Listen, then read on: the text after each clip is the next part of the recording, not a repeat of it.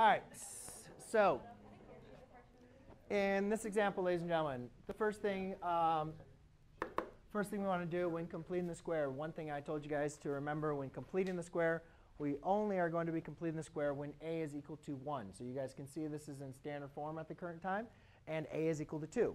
So to get a to equal 1, first thing that we're going to always want to do is factor out a 2, or factor out our a. Okay? I'm just going to factor out of the first two terms. Now again, the goal of completing the square is to create a perfect square trinomial. So we have to create a perfect square trinomial. To do that, what we do is we take b, divide it by 2, and we square it. b, in this case, is 3. So after I factor out the 2, my b in, in my parentheses is 3. So what I'll do is I'll take 3 divided by 2 and square it. Now, 3, 2 doesn't divide into 3 like we've done in these other problems, right? That's OK. We'll just square it, and that's going to give us 9 fourths.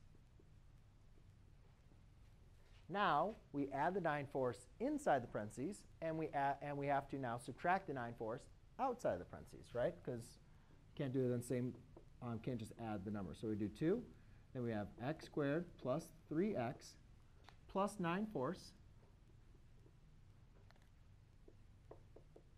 and then minus 9 fourths.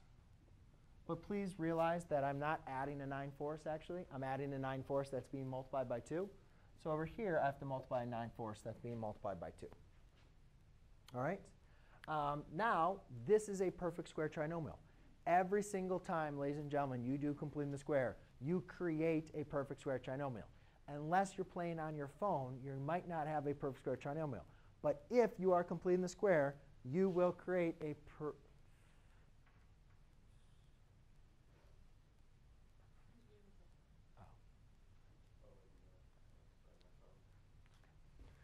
um, you will create a perfect square trinomial. Why are perfect square trinomials so helpful?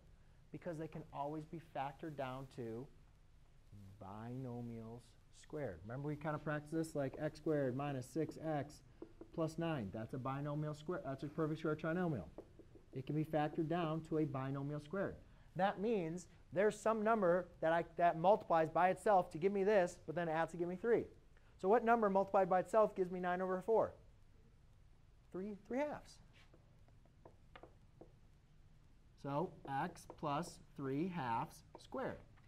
And think about that. Is 3 halves is the decimal equivalent with that, Joseph, would be 1.5. Is 1.5 plus 1.5 equal to 3? Yes, so that works. Here, that reduces to 1 half. This is over 1, so I'd probably want to rewrite that as um, 14 over 2 minus 9 over 2. So I reduced the 2 over 4 to 1 half. 1 times negative 9 is negative 9. Then you have a 2. I rewrote 7 over 1 as 14 halves. Now they have common denominators, so I can combine them. So my final simplified answer equals, uh, that becomes 5, oops, sorry, plus 5 halves. So there it is with fractions. That's OK. Please don't use decimals. Now our vertex. I think they just wanted you to find the vertex, right? Our vertex is negative 3 halves, comma, 5 halves. And they wanted you to find the axis of symmetry. Axis symmetry is um, a vertical line, so it's x equals the x coordinate of your axis, which is negative 3 halves.